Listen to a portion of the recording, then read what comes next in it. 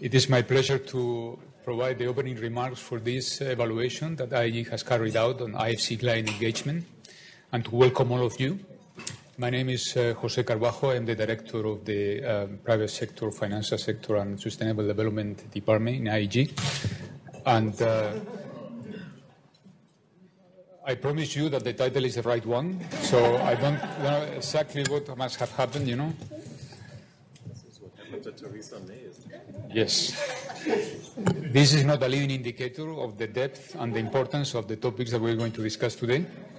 This evaluation is particularly close to my heart because it's the first one that was already underway, but the first one that was completed when I joined the, uh, the World Bank Group about uh, 14, 15 months ago. And uh, accompanying me are my colleagues from IEG and a distinguished panel that will be introduced by Stoyan Tenev, who is the senior manager of the department. And uh, also, we acknowledge the presence of Nena Stojkovic, who is the vice president and will give us the, the final remarks after we have, we have gone through, through the presentation. I just want to open the, the session with, uh, as I said, thanking you for your availability, your presence here, and just providing a few remarks to provide context of this evaluation. Needless to say, you, you know exactly the importance and the, the, of, of, client engagement, which is at the heart of IFC business model, particularly when we think in terms of the context of everything that is going on at the moment following the capital increase, IFC 3.0, all the challenges that are presented with the maximized finance for the development agenda. Um, I think that there is a, a, general sense, a general agreement uh, among all quarters that business as usual, or at least business as usual related to IFC 1.0 IFC 2.0 is not going to work. That means that you need to, you as IFC need to think of new ways of engaging with client. And it's the timeliness of this evaluation which I would like to emphasize because, as I said, given everything that is going on, the time, the timeliness of the evaluation is very um, apropos because it's the time for you to take a stock, and this is what we have done with this exercise, take a stock of what had been the experience of IFC engaging with clients at different levels, strategically with individual clients or client groups, at country level, also with upstream programs, taking stock and finding what are the ways in which you engage with clients that are successful, both from the point of view of the financial performance, but also from the point of view of the development impact. What the evaluation has actually done is to cover IFC model more broadly from the perspective of how it served the purpose of its clients. It was conducted looking at IFC own strategy that was initiated in the middle uh, of the 2000s years and uh, how this strategy has evolved. I think this is particularly important not only, as I was saying, for given the changes in the internal context and within also your reorganization, but also given the fact that the market out there is changing too and is presenting new challenges. And uh, you know the additionality, both financial and non-financial additionality of IFC engagement, tends to be tested on a, day, on, a, on, a, on a regular basis on every single project that you approve and try to implement. So what the team did, and I don't want to uh, spoil the, the findings, I will let them present, is to look at this evolution of IFC client engagement strategy with different types of clients. What kind of engagements were better than others? What are the reasons, the factors determining this success? And what lessons can be built uh, robustly to inform future strategy of IFC? As always, as you would expect, um, the evaluations that come from IEG always point out to uh, some factors of success and some areas that are more challenging and you have to pay attention to. This is what the, my colleagues, uh, Stefan Wegner and Hiro uh, Hatashima, are going to introduce next. And as I was uh, mentioning to you at the beginning, the proceedings are going to be the following. Hiro and Stefan will, uh, will introduce in the next 15 minutes the findings and the recommendations and how this evaluation was set up. Then this will be followed by um, a, a, a, panel um, discussion uh, with these uh, esteemed uh, panel members from IFC and IEG, uh, uh, moderated by Stoyan Tenev, who is the senior manager of the department. And finally, as I was mentioning before, it, was, it will be Nena Stojkovic, the vice president, who will um, provide the closing remarks. Without further ado, thank you all for coming, and I hand over to the team. Thank you.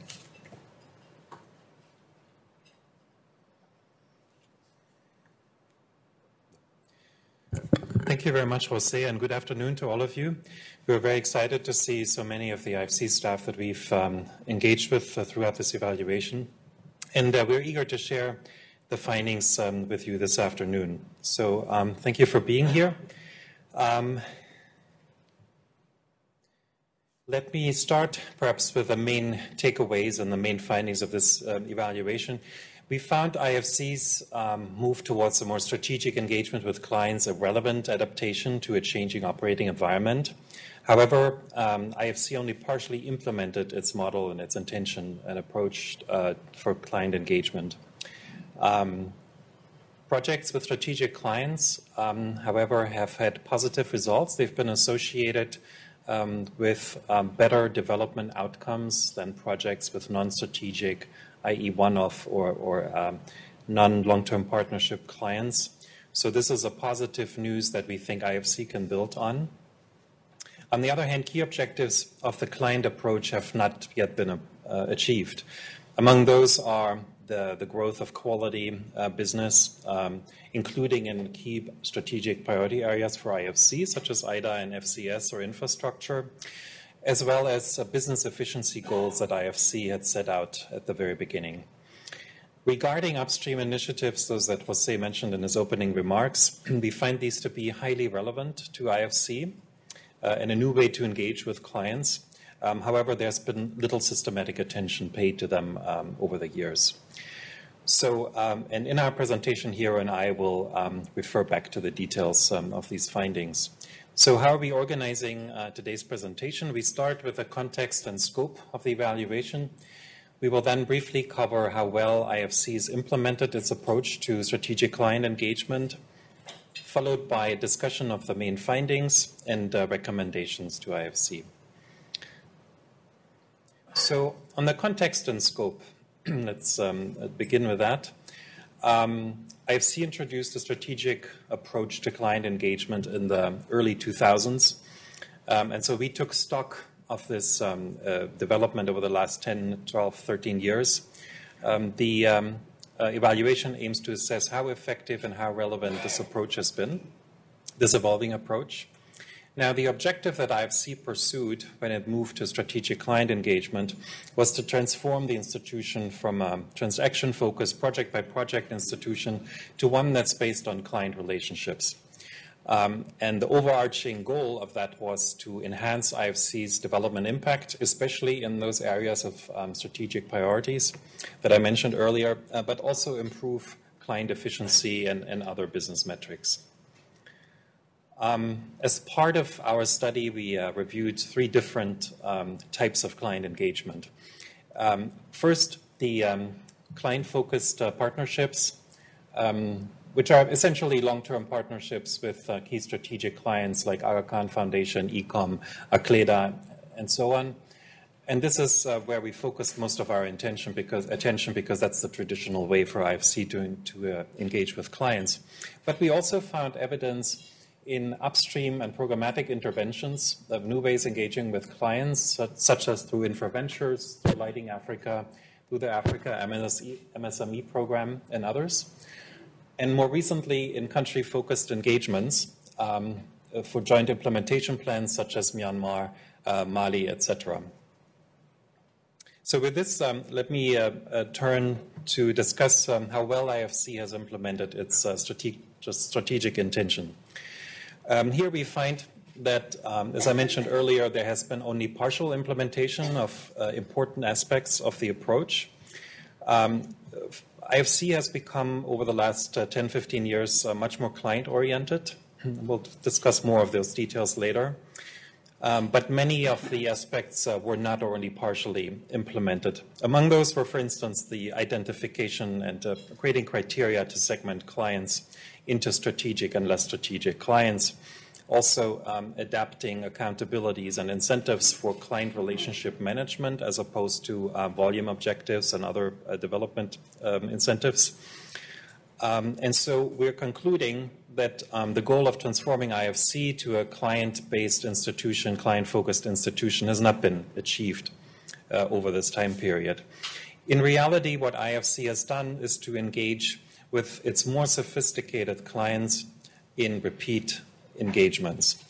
Um, and um, so, given the lack of a clear determination or distinction between strategic and non strategic clients, what we did for analytical purposes is to use this um, category of repeat clients, which have engaged with IFC in long term um, partnerships, as a proxy for uh, strategic clients. And we also looked at another category where IFC had started to identify potential long term partners in its um, um, uh, appraisal documents and board documents starting in 2006, and we took those as a second proxy uh, to uh, to review strategic clients.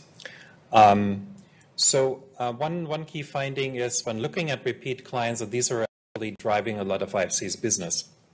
So roughly 50%, little less than 50% of investments and more than 50% of um, the business volume um, is associated with repeat clients. This is data from 2004 to 2016. So this underlines um, the, the, importance of looking at this uh, particular client segment. Um, as part of the um, study, we also looked at uh, what are others doing.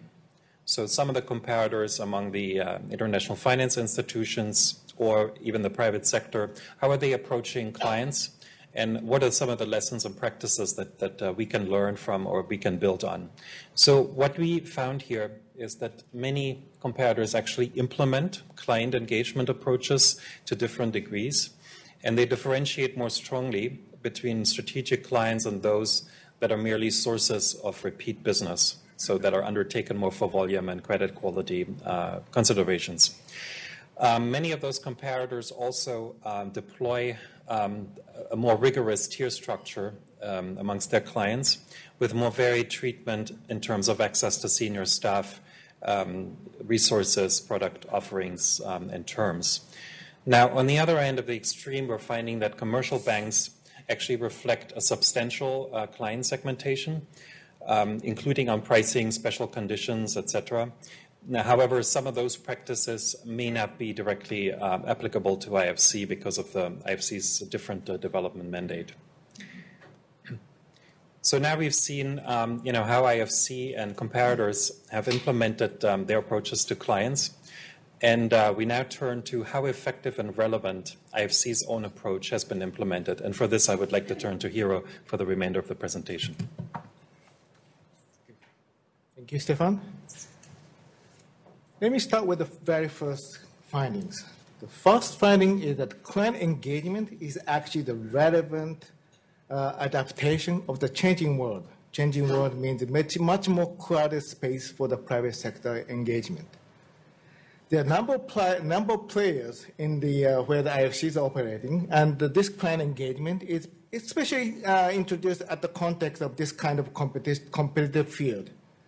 The client engagement gave IFC improved access to the senior uh, client decision makers and gaining the deeper understanding of the corporate strategy so the IFC can deploy the needed add, and add value to the client's needs. And this is translated into the success rate in the development outcome. This is the next findings. The second finding is the IFC's uh, project with strategic clients are better associated with the better development results. As Stefan said, we measure, we use two measures of strategic client. One is repeat client, the other one is the IFC's identification of long-term partner. In both uh, measures, development outcome success rate is better than the one with one-off client or those with non, uh, with designated as not as long-term partners. For example, in the overall development outcomes, 70% success rate for the uh, repeat client and uh, compared to the 49% for the one-off client. But more importantly, IFC's strategic areas like IDA, this difference is much more striking. It's actually the 80% success rate for the repeat client and one-off client is only 37%. This illustrates the further implementation of the client approach could bring enhanced results for IFC. What was the, what was the factor behind this uh, different, different performance?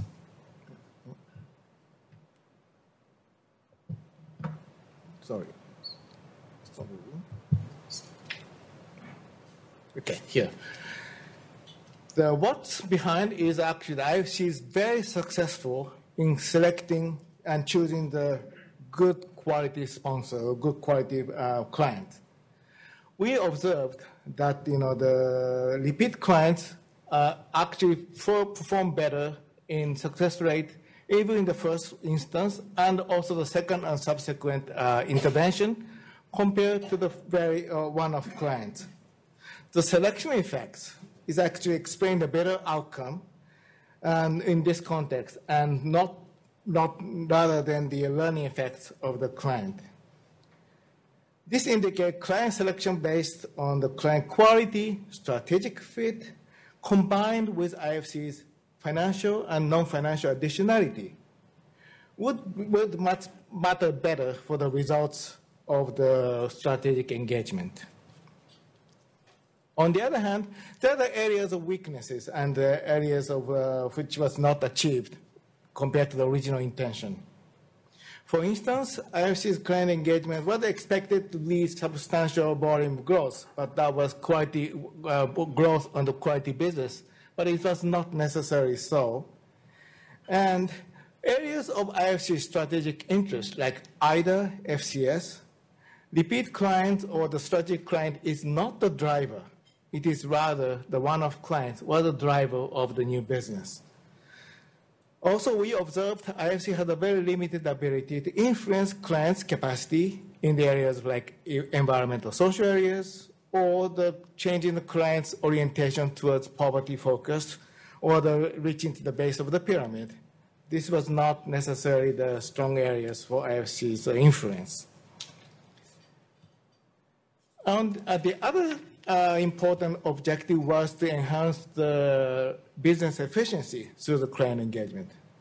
But this was a, there's a lack of progress in this area. We analyzed the client survey results and also the, some of the performance uh, indicator in uh, uh, efficiency. We see the uh, average number of days between mandate and first disbursement and compare against the one-off clients against the repeat clients only the financial institution has a uh, strong uh, gain in productivity, whereas the other areas is not that clearly visible. So we see that you know there's a strong areas of uh, uh, needs, needed areas of uh, improvement in the in the effect of the efficiency through the client engagement. Additionality is actually the main motivator for client engagement but we also observe that additionality need to be evolved over time. We can see some good examples of evolution. For example, the case of some uh, which is a microfinance institution in Cambodia. IFC's additionality was very strong at the beginning as IFC started investing in the initial equity and also the many advisory services for institutional build-up. But as the bank became much more mature, IFC additionality shifted towards much more non-financial additionality towards the assisting bank towards the international expansion, the expansion to Laos and also to Myanmar. And this kind of evolution was IFC had a good, you know, the good help working with the client, trying to make sure IFC is uh, relevant and meeting the needs of the client. On the other hand, IFC is also, uh, additionality is also kind of uh, winding down in the case of mature quality. I will cite the example of AES, which is a large uh, US-based engineering company. IFC has been doing lots of lots of business, investing together in the emerging market with AES, but now IFC's involvement is very limited to the very specific country context, like very high-risk country where AES feels that IFC's engagement is needed. But on the other cases, IFC's engagement is not necessarily uh, needed. So the business is actually relatively slower in the particular, uh, particular client. So there is an evolution of additionalities. IFC have to be engaged to make sure that IFC is still relevant and ability to deploy needed additionality if, if that is a demand from the client. Moving on to the next level of engagement, which is upstream and programmatic intervention. Upstream means it's more to do with uh, uh, building the, uh, engaging with the client to develop bankable projects uh, with its compared to the conventional financiers. Example, maybe the infra, infra venture, which is aiming to develop the uh, project, mainly power project in developing countries, assisting from the feasibility studies. Another one is in Africa. In those cases, it's just, they actually uh, had uh, much more complex, and it requires different type of client engagement. It's it's not just simply beyond working with the client financing need, but it's actually helping from the much more uh, hands-on help and uh, in, the, in this develop project development phase. And what we found is the internal factor is actually constraining mainstreaming this type of activities. Incentives, institutional culture, and uh, some of the resources, and also the institutional uh, silos, how to uh, break those uh, different uh, institutional barriers. And it's actually the, what we found is kind of systematic, you know, the barriers to need to have attention in order to realize some of the important potential for, the, for this type of engagement. Lastly, we also look at uh, some of the joint implementation plan, working closely with the World Bank. And we found that the client engagement is actually going to serve the missing middle. That means one hand policy reforms and the private sector uh, diagnostics in one hand, and identifying and developing projects on the other. The client have to be a kind of the have to be in the middle in order to realize bankable project in this context. It's the same kind of those strong client relationship in the field and adopting the country context is actually the plus in this context. But the same kind of constraint we observed is, uh, is there, like institutional issues, resource, and building the institutional capacity in the country as well. Finally, let me summarize the key, three key recommendations from this evaluation. What is one, the first one is about systematic approach. There is a need to have a systematic approach systematically to implement the client engagement, focusing on lagging elements we just identified. Secondly, the strengthening the client management, client relationship management for improving the pipeline of new strategic clients. And lastly, in terms of the upstream engagement, IFC need to have focused on the commitment, accountability, and incentive in order to realize the client uh, relationship to link to the uh, new incentives and the new, new type of project, uh, which is focusing on the 3.0. Thank you very much, and I hope uh, you see what worked well and what didn't work well. And uh, I want to pass over to Stoyan for the discussion. Thank you, Hiro. Thank you, Stefan. Please take your seats. Um, I'm Stoyan Tenev. Um, I'll be moderating the discussion. Um, first, I'll, ask, I'll, introduce our panelists and uh, ask uh, each one of them a question. And after that, we will immediately turn to you uh, for questions and answers. For colleagues that have joined us online, you can use uh, pollev.com slash IG now. I repeat, pollev.com slash IG now to uh, send your questions to the panelists. And for colleagues in the audience in the room here, you can step up to the mic and ask a question to the panelists. So with that, let's turn to our panelists. Uh, I have uh, Giselle Saralegui uh, next to uh, on my right. Uh, um, thank you very much for participating. Uh, Giselle, she has been with IFC for 12 years.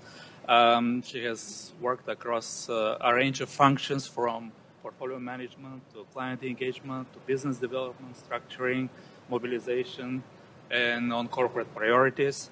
Um, prior to IFC, uh, Giselle was with some other uh, multilateral development banks like EBRD, IDB, with commercial banks, and some experience also in uh, Price Waterhouse Coopers, so a very broad, broad range of experiences. It's fascinating. So, Giselle, I'm going to ask a question. Um, we have heard uh, in the presentation about the evolution of IFC's approach to client engagement. This is uh, something that has been evolving, adapting to the external world. Can you tell us a little bit about what is current thinking about IFC's approach to client engagement and some of the plans going forward uh, in IFC? So, thank you. Um, I, I, think this is a very timely discussion, and I really want to emphasize that because as we are in the midst of uh, some or- organizational changes that um, are underway, we can really embed again um, our thinking around client and how we want to institutionalize that.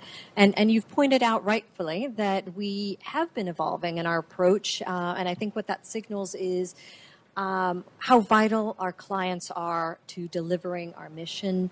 Uh, to delivering the impact. Um, and so, if I have to think about the three or four areas that we're really uh, advancing with um, and looking at next steps, um, they're highlighted very much in the same recommendations that you put forward. Um, so, looking at uh, building uh, more clarity and accountability around our client engagement roles.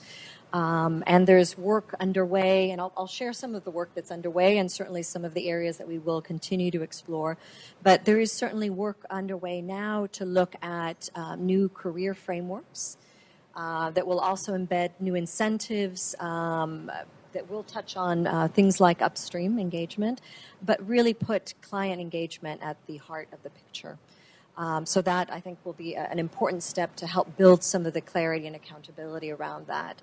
Um, we also need to and, and, are advancing with some work streams that look at enhancing the way we do business um, and how we do business with our clients. Um, so I'm delighted that you highlighted some of these strategic um, uh, inputs with uh, the results uh, with our repeat clients, our strategic clients, and showing the important story that they actually deliver a much higher impact. Um, so, really reaching out to look at how are we engaging, how are we identifying our clients, um, potential new partners, and really engaging with our strategic clients going forward.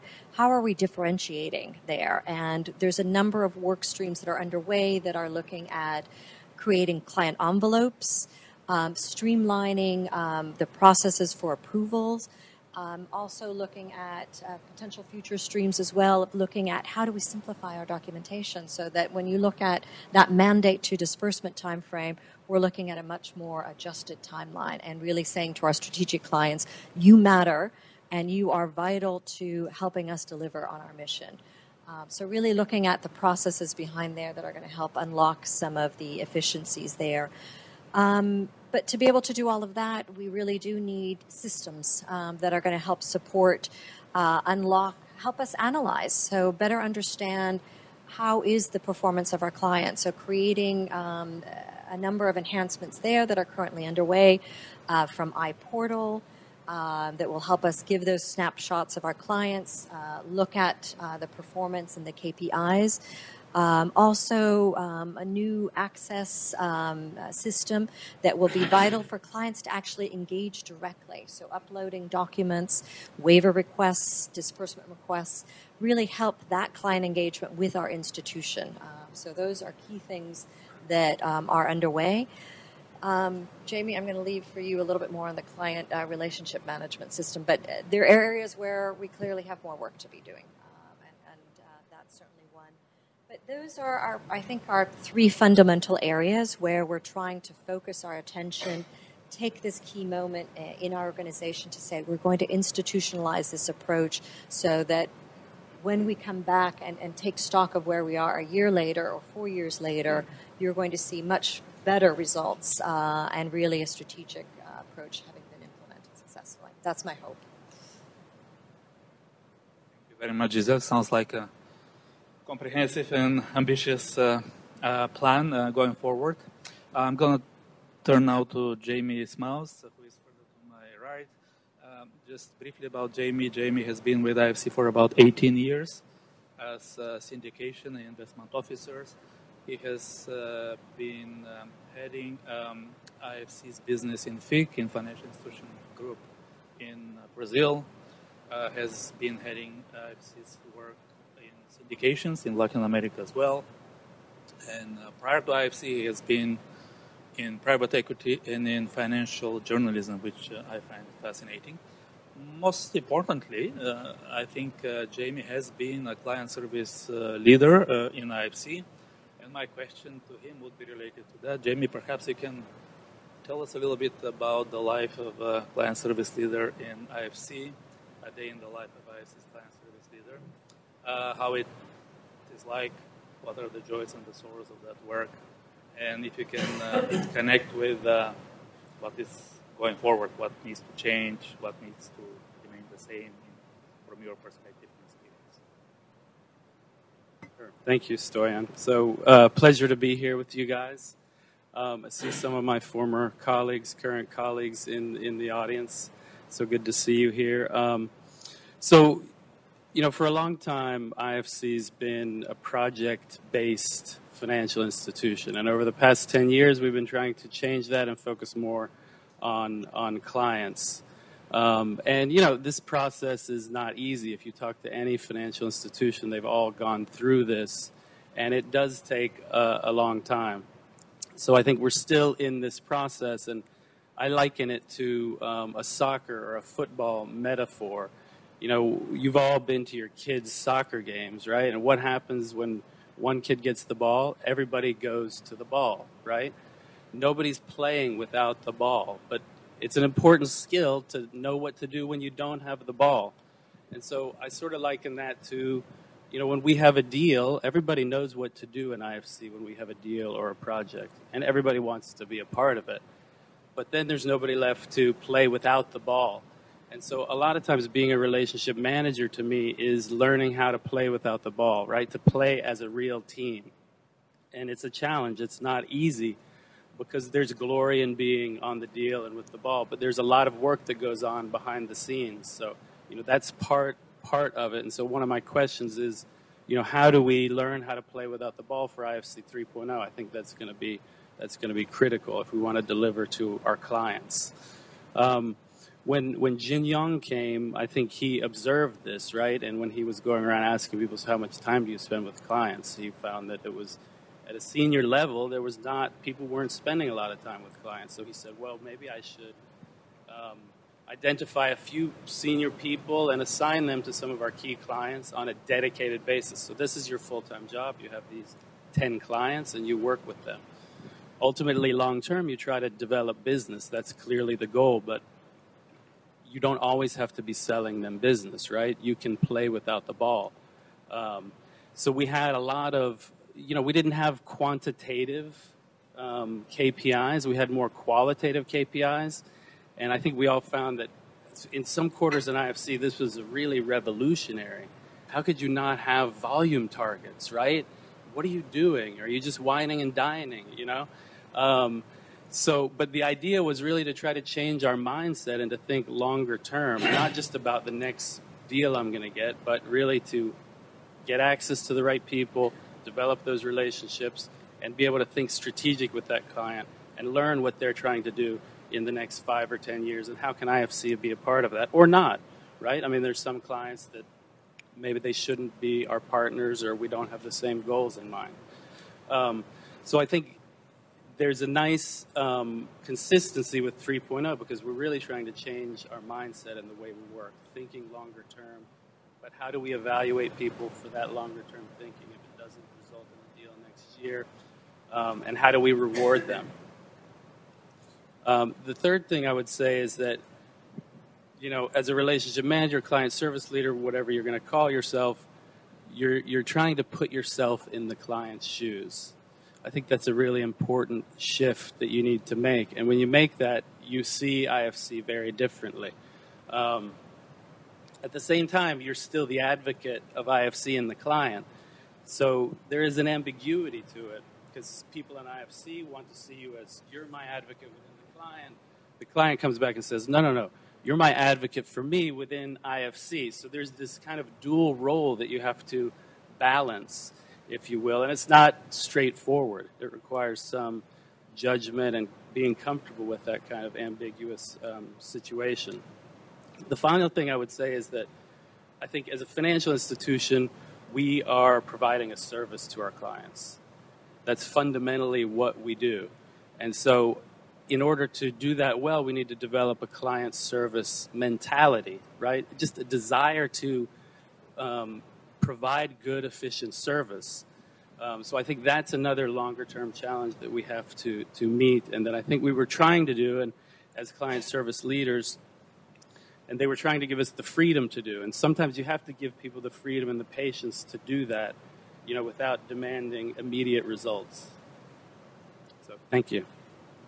You, Jamie. And turning to uh, my friend Jim Emery, Jim has been has a long and distinguished career in IFC, in the World Bank Group. Um, he is now head in the Development Impact and Sector Economics Department. Prior to that, Jim has been head for strategy uh, and economics in Africa, uh, for manufacturing, uh, agribusiness and services. So he has covered regions, he's covered sectors. And uh, Jim, I'm gonna ask a question regarding IFC 3.0, where um, it's a new philosophy, a new vision for IFC, creating markets, cascade. Um, what, in your view, are the implications of this new, to make this happen, to implement uh, successfully? What changes do you think uh, need to take place in the client engagement? Oh, thank you, Stoyan. And um, first of all, let me, uh, I wanted to thank IEG for what actually has been a very helpful study um, and a very constructive engagement. Um, and, uh, you know, we don't always agree with all of the recommendations that you come up with. And I think this, the fact that we did on this is illustrative of the, um, the good work that you did and, and the way you sort of got behind what was going on and how we were um, doing the client sort of relationship business. It wasn't about you, Stoyan. It's, the, you know, the guys who really did the work were Stefan and, and Hiro, and I wanted to thank them and, and also recognize that it's important to have people at IEG who really understand that working with the private sector as clients is different than the public sector, um, and that understand some of the uh, imperatives we have and the constraints we're under. So it really helps having you guys involved. And also wanted to recognize um, the role that Jamie played as the technical counterpart. It wasn't clear in the introductions, but he was has been the primary uh, point of contact for the team at IFC and really helped sort of steer them to different information routes and, and talking to people to find out what they needed to find out. And Giselle is now in the role of heading up a task force that we've established to come up with the management action plan. So in this in this process, we have the recommendations. Um, we had our response to them in, in, which we essentially agreed with the recommendations, but now we have to set out what it is actually we're going to do as IFC management to implement those recommendations. And Giselle is leading a team that includes Jamie and, and other representatives from industries and other VPUs to come up with that in the next few months. So now I will, I will get, I will answer your question. Uh, look, I think that um, one of the things that, that really was very useful to us was the, the finding that these engagement with strategic clients generate better development outcomes than one-off clients. Um, and that's that's helpful because very often we're when we are embarking on some new venture initiative related to creating markets, we're often looking to how can we involve clients that we know, clients that we know have the capacity to do the kind of developments we're looking for, have the have the strategic alignment in entering that sector or entering that country, um, and they become an important element of many of these new initiatives. And without them, I think it's it's it's very it's much more difficult to kind of um, start from from scratch and working with clients that we don't know or clients that have limited capacity, that don't have uh, the depth of experience and the footprint that many of our strategic clients do. Um, and this is important because uh, the board often pushes back on some of these relationships. I think they see us as being too cozy with companies that are just repeat clients and maybe not strategic clients. Um, and so it's, it's been very helpful to have this recognition of the value of strategic clients. And in fact, the, the recommendation that we need to do more with them and do it better than we have been in order to really uh, generate even better results. Um, so that part of it, I think, has been key. There's a, there's a big difference between the concept of IFC as a lender of last resort, focusing on only where we're bringing financial additionality, to the partner of choice. Um, and that's, that's a big transition. As Jamie said, it, it takes time to get there, but what we're, what we're trying to do now um, is to develop different types of value added that will help our clients generate the kind of impact in the difficult situations where it's not so easy. Um, and doing that takes bringing uh, many different types of value added, not just the money. Um, you know, when I think of what um, we've done with some strategic clients like Indorama, where we had a long relationship with them in the, in uh, in Indonesia, but then uh, and they kind of graduated from that. But then when they went to do their first project in Nigeria, we were very important partners for them in what was now 10, 13 years ago, a very uh, uh, um, unstable situation where they put a lot of money into a big petrochemical plant. Uh, they've now just, uh, we're now just completing the expansion of their second project there, so our third engagement with them in Nigeria, um, which has brought tremendous new large-scale manufacturing investment uh, to a country that uh, desperately needs it. Um, that wouldn't have been possible without a trusted client, someone we knew. Uh, and that, I think that trust went both ways. We supported them in many ways um, in operating in that difficult environment. And now we're engaged with them in the cotton sector in Uzbekistan. Uh, we would never, I mean, the cotton sector in Uzbekistan sets off so many red flags in the World Bank Group, uh, whether it's environmental, whether it's forced labor, whether it's, you know, uh, all of these other things. Um, and so our ability to do that was predicated on, on Indorama's strengths as a company and our trust in them in terms of how they would operate in the sector, and also in a partnership with the World Bank uh, to address some of the social and environmental issues. Um, so an engagement like that just is, you know, wouldn't, isn't possible without a long-term partner who has the right characteristics. I think Hiro alluded to uh, uh, ACLEDA, the bank in uh, bank in Cambodia, where we started with a small microfinance institution, uh, helped build them into the largest commercial bank in the country, um, and really developing the financial sector along the way. And now we're supporting them in their expansion to uh, Laos and Myanmar. That type of relationship uh, evolves over time. It develops in different ways. Uh, but I think what we're trying to demonstrate by um, you know, doing the kind of analysis that, that IEG has done is that um, that evolution is an important part of the relationship. It's an important part of continuing to achieve new and different types of impact over time with clients where you can really um, have a strategic alignment and uh, develop into different dimensions as that relationship evolves. So let me stop there. Thank you. Thank you very much, Jim. Um, Stefan Hiro, can you please uh, join us here? Uh, we're going to move now to questions and answers, to the fun part. And while uh, colleagues uh, in the audience think about and formulating their questions, I'm going to start with the questions that we have received uh, online. And Jamie, uh, I think your soccer game metaphor is resonating uh, with the audience because there is an interesting question related to that. I'm going to read it from the screen. Do we need a set of incentives to play without the ball? how can we institutionalize that concept? And here, you and I, we had a discussion uh, recently where, for example, in the process of working on this evaluation, we interacted with some private uh, partners like Standard Chartered and others. And I was struck by the fact that they, in some ways, they can take a longer term perspective than IFC can.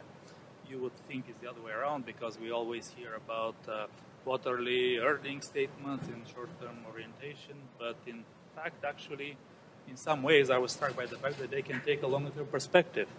We seem to be stuck in this annual budget cycle and annual targets, and our horizon often do not extend beyond the one year uh, cycle. And for, as you meant, for us to develop long term relationships and play without a ball for a couple of years or something like that, you need to have a long term horizon. So perhaps, Jamie, you can talk about uh, the incentives and what, if you have some ideas that we can do to institutionalize, change them, and, and, and make them more robust. Yeah, thank you, Stoyan. Absolutely. I think um, in terms of incentives, we do respond to incentives. So I think if, if, if we have them, you know, we will respond. And I mean, in some ways, it's a management challenge, right? How do you evaluate people across a number of different dimensions? In particular, I'm talking about investment officers in this case, right? It's, you know, investment officers can be evaluated based on the number of transactions they've closed in a given year. That tends to be the typical way you get evaluated. And if you're an investment officer, you're going to respond to that and say, well, you know, I didn't, I got to close this deal, so this is what I'm going to spend my time on. Or I'm going to do a debt deal instead of an equity deal because an equity deal is more difficult. It takes longer. It's more uncertain. So that was kind of the world we were living in. I think we're trying to come out of that and look at okay, well, investment officers might do a number of things, right? So from a relationship side, you might want to give them more time to develop a relationship, and some of the things might be like, well, what kind of access do you have to key decision makers, right? Who do you know in, in the company? What else has been going on? What other kinds of engagements with that entity have you been doing while playing without the ball, right? What have you been doing to increase your connection, your strategic understanding of that client? So um, I think we need to think about it, and there's a number of ways we can we can do it, and it's about managers giving people the time and space and developing that ability to look at look at people in a more holistic way for all of the talents that they're bringing to the table. And I think we've got a, a bigger challenge too ahead of us because part of this, um, central to the upstream and kind of 3.0, is really looking at a much earlier engagement. Um, and not just with our strategic clients, but with our public sector clients. And I say that with my, infrastructure, my infrastructure hat fully on.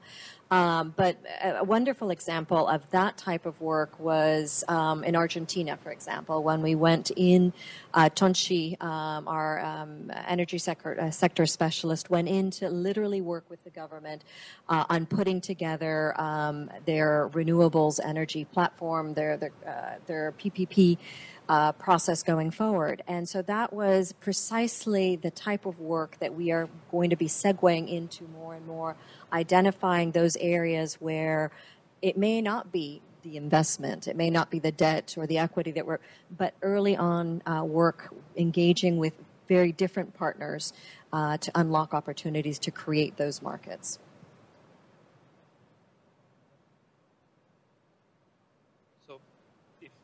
Any questions from the audience? Yes, please.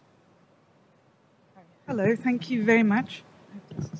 Um, Would like to introduce yourself? Yes, thank you. Um, my name is Cleo Rose-Innes. I'm a senior advisor in the constituency office representing South Africa, Nigeria, and Angola at the board.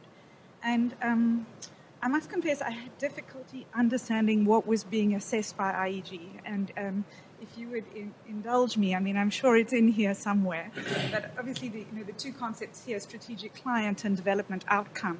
So my questions relate to essentially what that means. And I was glad for the point that you made in your answer about the issue of differentiation, because what I was wondering is like what theory underpins the notion of what's strategic. So if your strategy is to promote regional integration and trade, then are you looking for home and host country, or like a, the home country of a firm is proximate to the host country, for example. If your strategy is the development of the domestic private sector, then obviously firm size is, is a factor, particularly in, in say, sub-Saharan Africa. If your strategy is South-South, then obviously Indorama makes some sense. So I don't really understand, I didn't understand clearly this notion of what it is that is strategic, and so in that sense I found it very useful when Giselle said that you know you're thinking of these in some kind of buckets and differentiation and envelopes as to what theory underpins the notion of what is strategic beyond repeat clients. And then on development outcome, what do you mean? Is it the project? Is it the E&S standard? Is it the non is the financial and non-financial additionality? Or is it clustering, spillover, structural change, sectoral impact, and so on? And finally, on this, on the recommendations, I was quite surprised there's no one from bank here.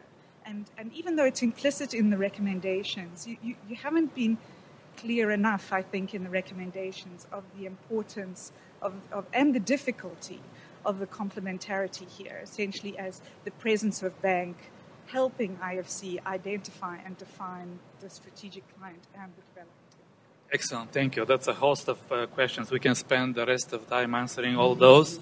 And so that's why uh, let's try to be cover these are very important and useful questions, so we can perhaps I, we can start with uh, Stefan. You just to explain what is this all about, because obviously it was not uh, very clear to some uh, people in the audience. Very briefly, uh, yeah. Okay. Yeah, so um, I briefly alluded to that. So, in absence of IFC's actually distinction between strategic and non-strategic clients, what we did is we used um, long-term clients with repeat engagements with IFC as, as a proxy for strategic clients. And we analyzed those and we analyzed the results of those in terms of the development effects and the additionality and compared and contrasted them with a comparator group of the non repeat, so the one off clients. Um, so uh, this actually cuts across many different strategic areas. You know, some of these clients were in IDA countries, some of them in FCS, uh, some of them in both, some in infrastructure, and so on. So we didn't cluster them specifically uh, towards uh, meeting spe- specific IFC um, um, strategic priorities. But the the rationale, um, as I think I alluded to, of IFC to move to strategic client engagement is precisely uh, to to meet better those strategic objectives and do more pro- and more projects, more investments, be more effective in those environments that are more difficult to do. So this is IDA, FCS, and um, and um, infrastructure, among others, climate change, and so on. So we didn't specifically use those buckets. In terms of how do we assess development um, effectiveness, um, we use four criteria um, and one over, overarching rating for development outcome which is composed of um, business success, of um, economic uh, sustainability, of environmental and social um, effects, and private sector development. So it encompasses all of those things that you mentioned, and it's a synthesis uh, rating for development outcomes. Um, and, and this is the ones that we uh, presented here in the in that one slide. Um, uh, regarding recommendations, I think um, you know this is a very shortened version of the report. We have some implications for how IFC needs to work together with the bank and host um, governments, developing country governments, on the uh, creating markets agenda. Uh, in in the context of the country engagements and also um, uh, for upstream engagement, but it's also an important aspect, as you point out, for the IFC 1.0 and 2.0 um, agenda because many of those clients that we um, studied actually, you know, IFC helped them to go into higher risk um, areas, into new sectors, and so on. And, and many of those actually involve um, difficult political security regulatory issues.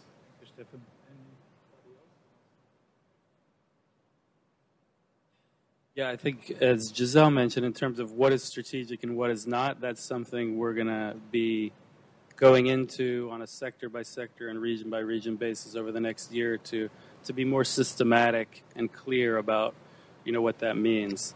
I would also say though that you know working in the private sector it's dynamic, right? So firms change, strategies change. We also need to be opportunistic sometimes, which I think will continue to be because it's just a fast changing marketplace, especially these days, and especially if you're working with you know, in some sectors where we work with, with new firms and younger firms. Just to add to that, I think uh, our, in the absence of very clear defined strategic criteria, we looked at ex ante criteria, which is the intention for IFC to develop long-term partnerships with particular client groups, presumably for strategic reasons and, and alignment of incentives, interest strategy And the ex post criteria, which is repeat clients, based on the belief that if you're working with some client, there is good strategic reasons motivating uh, this, um, this uh, repeat experience. My name is Katya Cantor, and I work at the IEG on the collaboration and knowledge flow evaluation. So, IFC is part of the World Bank Group, and um, part of the reforms in 2015 was to become a solution organization, a solution bank. And for that to happen, collaboration and knowledge flow was key to achieve. So, did the evaluation in some ways look at efforts or aspects of uh, IFC uh, to enhance collaboration among departments, knowledge flow, to enhance, to improve client engagement and VAS development effectiveness?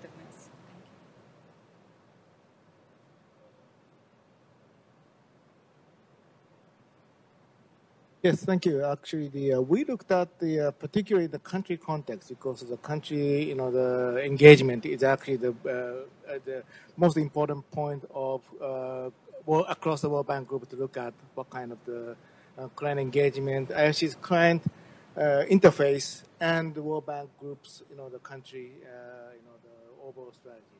In particular, and the most important part is actually the uh, joint implementation plan because that is a platform collaboration within the World Bank Group to have certain, you know, the uh, sector or the thematic objective at the group wide and how to work together within the World Bank Group. So the bank has certain mandate to work with the government with fixing the reform or the other, other kind of challenges.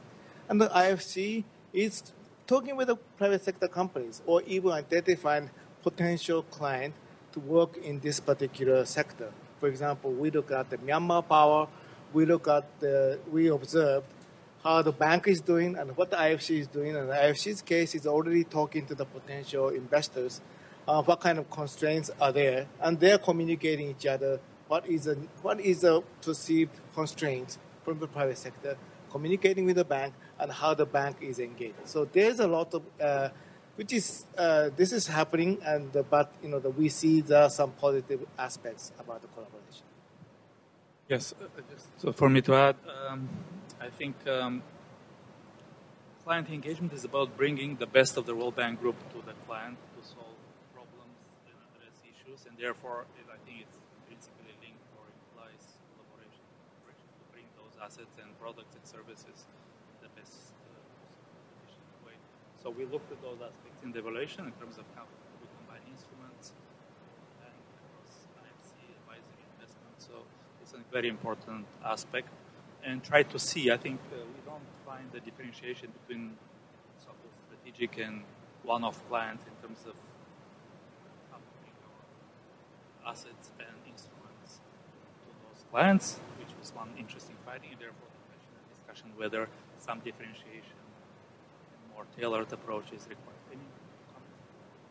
There's clearly another space, uh, and we tend to look at clients as, again, uh, those that we invest in, whether it's debt or equity. But I think there's a larger space, and, and certainly one that we want to explore more, about building partnerships. Um, and that can be a number of things. I can put my syndicated lending hat on and say, you know, mobilizing more money um, in.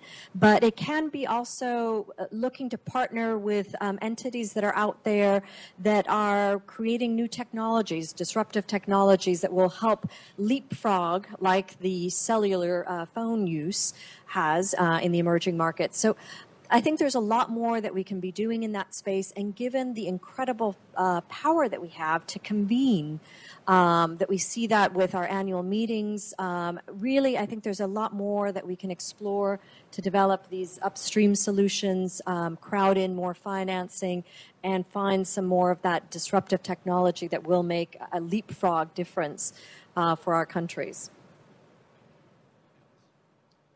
Uh, any questions from? I can perhaps ask a question, probably a little bit deeper into this uh, upstream uh, space that uh, there is so much focus on uh, right now. also, to link this question with the role of the World Bank and the partnership between um, IFC and the World Bank, exactly to facilitate or make the upstream engagement more effective um, what we talk, to, talk about in this evaluation is the so-called missing middle. That's the space between country diagnostic or policy and reforms and then bankable transactions, which is a space that is very hard to bridge uh, in our experience and where there is a lot of hope now on systematic country diagnostics. And Jim, I'm going to turn to you here. We have heard about some good examples in Kazakhstan. We identified three sectors that look promising. But what needs to be done now to go from there, from the diagnostic to the bankable, real, tangible uh, ideas, uh, opportunities that uh, can translate into investment?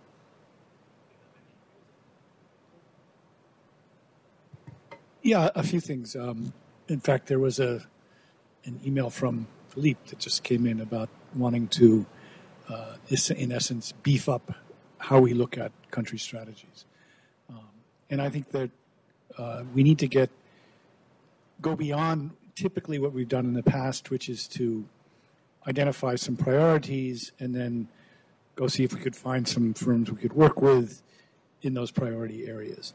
I think what we're talking about now is a much more deliberate engagement where we not only identify the priorities, but we do that based on what the potential contribution to uh, growth and, and, diversification in the economy is from that particular area.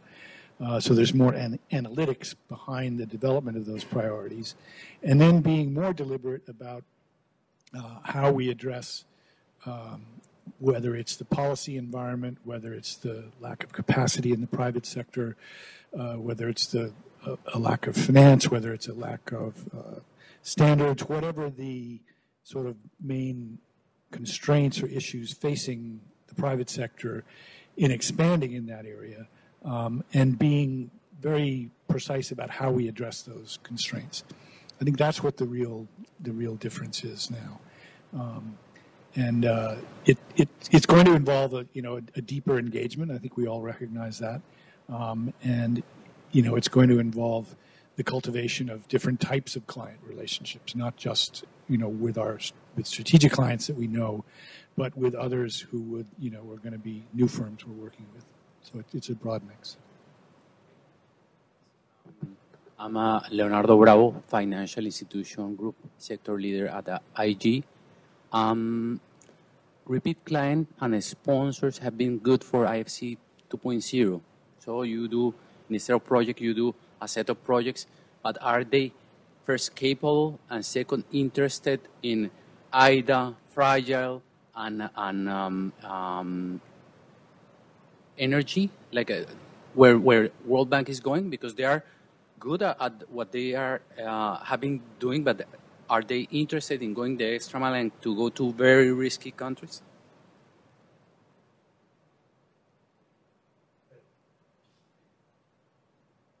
Hard ones. um, Look, I think the reality is that we have been able to partner with uh, our clients and take them into the most difficult regions. Um, Mongolia, uh, I mean, a huge mining investment that would not have been uh, possible without, frankly, IFC's engagement. Uh, and yet, uh, if we look at not only what we invested, but uh, the money that we were able to mobilize from our, our, other partners. It's a compelling story about a big turnaround, a big investment that is going to and I'm not sure if I have the figures right, but I think it's over 2% of GDP literally generated out of this project. So it's tremendous. Um, yes, we can work with clients that will go into the riskier areas, and the IFC uh, and what we bring to the table is absolutely vital in those discussions. Uh, will we be able to bring all of our clients into each of uh, and every of the regions? That might be more of a challenge, but I think when we look at, and I come back to kind of the country uh, and sector diagnostics, that exercise coupled with our client engagement will help unlock a bit of that strategic vision going forward and where we can really tap into those opportunities. Uh, and then also looking at who are the next, what's the next generation of clients that we can crowd in to work with us as well. So the report goes into a little bit of detail on this. I'll let them answer it. But from my perspective, um, I think there is a challenge here, especially when you're talking about larger firms, right? I mean, they even if you say, well, there's a great sector in you know Kazakhstan that we have identified and we want to bring you in it, you know, sometimes it doesn't move the needle for them, right? They're just too big, and so they're focused on the biggest emerging markets. So that's why it's important that you know when we have these strategic lists, it's not just the biggest clients in the world, right? Because they're not they're not necessarily the ones who are always going to want to go into those hardest markets where the deals might be s- smaller and just the total market size is just not big enough for them. So I think we just need to be realistic about what some of these firms will do, even if there's good investment opportunities. Thank you, Jamie. Um, I'm gonna bring a question from our online audience. How do you reconcile seeking a long-term relationship with a client with the requirement of consistently achieving high AIMM scores in every project with that client? So is the project perspective versus the client how it comes to play into uh, building strategic long-term relationship with the with clients? Uh, Jim, perhaps you can shed some light on this. Yeah, actually, that it, it's a good uh, opportunity to, to make a point about AIMM, I think, which is that we would not expect um, every project with a strategic client to consistently achieve a high AIMM score. We would expect that, like any other client, there would be some distribution uh, of a range of scores in the different engagements with those clients. Um, not everything we gonna we, that we do with a company is going to be you know, spot on one of our great priorities in a high need country that's high risk. Um, we do things with clients that are more sort of relationship management, keeping things warm, helping them where they need some help, where it's aligned with what we're doing, but it may not be one of our highest priorities, with the knowledge that the next one or the one after that uh, will be an engagement that's really important to us. And, and maybe an example of that is um, a recent project we did with Yara Fertilizer. This is a, a big global fertilizer producer. Um, they have an existing network in Latin America, and they're just expanding into distribution in Africa. Uh, so we helped basically uh, expand and improve the performance of their subsidiary in Colombia, and help them with um, uh, an expansion into uh, Zambia, Malawi, and, and Mozambique. Um, so that was that was okay. It was existing fertilizer distribution, but it was in essence a way to demonstrate that we could work with them uh, in anticipation of what will be the development of a very difficult project in Ethiopia that involves a, uh, a phosphate mine and a fertilizer manufacturing and processing plant.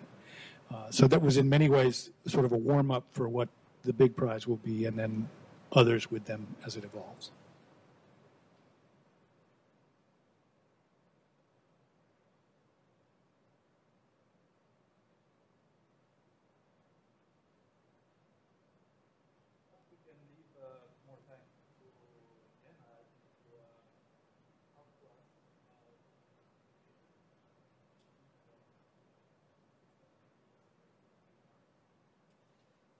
Thank you very much, uh, uh, Stoyan, to you. Thank you, Jose, for uh, having me here.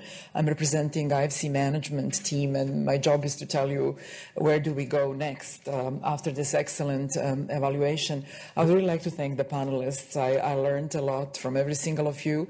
You took me a little bit to the past on what has happened over the last um, decade or so, uh, but also with Giselle, Giselle's help, also a bit to the future, um, and I will focus a little bit on that. I just wanted to say, I mean, uh, that IFC, the only way IFC can deliver impact is through our clients. And, you know, there is no doubt that clients are central to what IFC does to our business and, and uh, to our uh, impact. And yes, the, the way how we approach clients over the years has evolved, um, but I think that uh, there couldn't be a better time to discuss uh, revisions or improvements in, in the client engagement than now, when we clearly have um, a large stamp of approval by our shareholders through the capital increase that they have approved and where we know that in 12 years we will be twice as size as we are now, um, and, and that we will be shifting to more difficult, more challenging places, uh, places where private sector is not yet present. So that, that really um, uh, calls for a very different engagement approach, and that's why I really appreciate the recommendations uh, of the study. And the management team of IFC fully agrees with the re- recommendations. I don't think that we could have said it um, any better. And I just wanted to thank the team who produced it uh, because it's extremely timely and very important uh, for us. Maybe just to recap that we did submit the official response to the board uh, to CODE in January that Giselle is leading this um, small group that's uh, helping the management team on the action plan uh, based on this independent evaluation. And uh, I wanted to focus on four areas, four next steps. Um, many of them have been have been mentioned here. The first one, the, the, the dearest to my heart, and the one where I think that's going to be the big delta in terms of what IFC will become over the years, is this upstream space. Um, to me, even even the definition of the client for this study is a proxy because we didn't have anything else, right? It's a proxy. How many times do you deal with the same client? But that's not necessarily a strategic, strategic client. As our colleague from the ED office has pointed out, to me, the strategic client is the one who can be the first of its kind to invest in Afghanistan, in the energy sector, or uh, in the um, financial or microfinance institution in Niger. Or those has to be our have to be our strategic clients. But we didn't have um, that definition for the team here to, to use it. So proxy is pretty good enough, but not quite, right? Because we are engaging into a completely set, new set of, of, of, new clients. So what the management team wants to do is to use the upstream work uh, that we are doing, or we will do, including some joint work with the World Bank, to identify uh, those strategic clients and to more proactively bring them. And they're going to be different depending on what problem are we trying to address in each of the countries. But the, the reason why I'm excited about this space is that uh, we're not just talking about it. We, we have plenty of new tools for the diagnostics. Um, uh, private sector diagnostics, CPFs continue to be important country diagnostics that we are doing together with the World Bank, InfraSAPS in a few countries, FSAPS in, in, in, in another set of countries. Uh, we have some additional funding for our own advisory diagnostics through, through CMAW. Um, and uh, we want to use all of those to be very particular on what are the sectors where we want to engage, uh, what the bank needs to do, what are the policy blockages to bringing private sector in, and who are the strategic clients who we can possibly bring uh, bring to this space.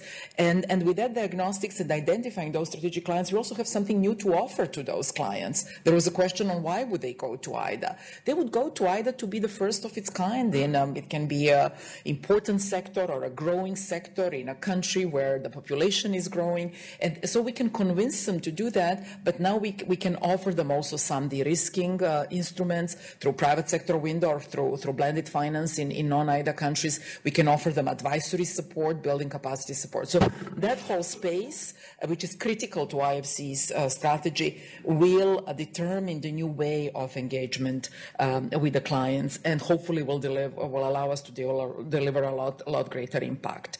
I think that the second bucket is around accountability on client engagement roles and we went through rainmakers to client leads and now more business developers. Uh, but uh, to me the interesting finding of the study is that uh, we, we, we deliver better impact if we deal with repeat clients. And that, that was an, a very interesting um, finding for me. And therefore, we want to recognize that and we want to tap into that and have a proper relationships and strategies with those strategic clients. And as I think Hiro identified, we will be doing different things with them as we go through the cycle of multi-year engagement. I think the third area is um, that uh, we want to be more efficient. I didn't particularly like the numbers that showed on the screen that even FIG, that's most efficient, is still taking 390 days to deliver to a particular client on average. We, we just will not be able to be twice as big in, in, in plenty of more, of more challenging places, even if we deal with clients we know, if we, we don't do something internally. And I think the client envelopes uh, that I think Giselle mentioned that, that we are working on for repeat clients will help us so that we get approvals for the envelopes based on the client strategy rather than dealing with every single individual deal separately. That will hopefully help us become more efficient. Uh, we're looking at ways of streamlining decision uh, making in IFC. We have quite a few pilots ongoing. In my region, MASIS, uh, manufacturing and uh, agribusiness and services is being piloted, and we're already seeing how, how that streamlined decision, um, uh, decision making works. And we also are putting some, some efforts into simplifying the legal documentation and internal approval documentation to deal with the strategic um, clients. We had an IDA FCS envelope as well for clients. So, so we, we have experimented with that. And, and don't get me wrong, I don't think it's just changing the documentation. I think it's a lot about changing the, the, the behaviors, changing our own mentality, learning what works, what doesn't, um, developing our skills, leveraging skills of some other people who can help us. This is quite new for us, but I think with some of these improvements also on how we engage and process those, those deals, I think we, we, we can certainly improve uh, further. And then the fourth area Giselle mentioned is systems. We, we have to have systems that will capture uh, all of this. And there are improvements that are now going on in, in iPortal with some better client uh, analytics. Um, there will be a secure portal for streamlined and simplified interaction between IFC uh, and its clients, including reporting and access to clients' projects so that we can reduce some, some duplication.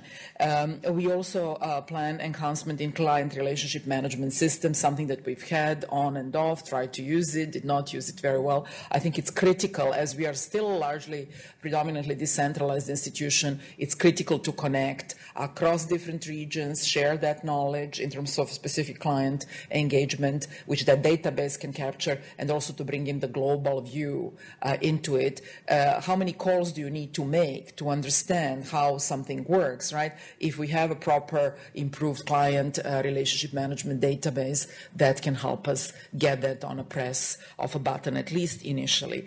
So in closing, I really want to thank you for the good quality uh, IEG evaluation. Uh, also thank, thanking the IFC team who engaged because it's it's very rare actually that we meet so well on on the recommendations and we uh, fully agree. Um, to repeat that this is the uh, right time and exciting time for us to revisit our uh, client engagement strategy, including clarifying um, who are our our strategic clients. And a reminder to all of us: the only way we can be relevant and deliver impact in our countries is uh, through our clients. So thank you very much for having me here and well done.